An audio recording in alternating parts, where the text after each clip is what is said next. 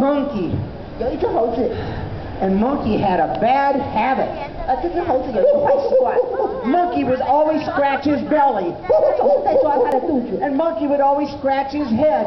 它总是在抓它的头 And，he would scratch his arms. 它会抓它的手背， And sometimes monkey would also scratch. 有时候它会抓它的。 No, no, no. That's a bad habit, monkey. 哎，不不不，那是个坏习惯的猴子。 Now rabbit 那兔 had 子 a bad habit too. 也有跟坏习惯。 Hold your ears up. 来，大家把耳朵， Monkey would always move an ear one way, 它会把它的，它会挥动它的耳朵， move it the other. 两 She 边互 would 相挥动， look one way. 啊，看这边， She would look the other. 再看另外 And 一 she 边 would，put her nose in the air, 还把它的， sniff, and then she would shake and wiggle, and she would shake 它会 and 扭动它的 wiggle. 鼻子，闻来闻去， That was a bad habit.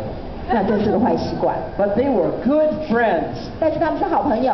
And one day, Mon- Rabbit came hopping over to talk to Monkey. 那有一天，兔子跳过来去找猫 And 找 Rabbit 猴子， started to move an ear one way. 兔子开始动它的耳 She 朵 moved，an ear the other. 再看另外一边， And she looked one way. 然后看一边 And，she looked the other. 再看另外一边， She put her nose in the air. She started to sniff, and Monkey said, 扭动的。 Stop that! 猴子说：“不要再做了， That is a bad habit. 那是个坏习惯。 You were always moving your ears around. 你总是在动你的耳朵， You were always sniffing. 你总是在闻来闻去， And you were always shaking and wiggling. 你总是在动你的身体，动来动去。” And Rabbit said,